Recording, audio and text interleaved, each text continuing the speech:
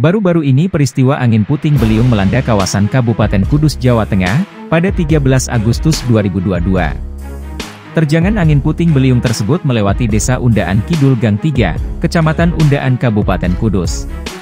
Peristiwa tersebut terjadi sekira pukul 15.30 waktu Indonesia Barat.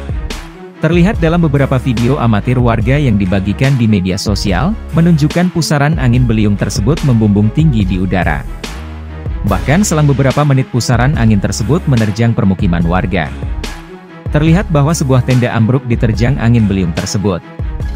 Di video lain juga memperlihatkan atap asbes bahkan rusak lantaran tersapu kencangnya anginan.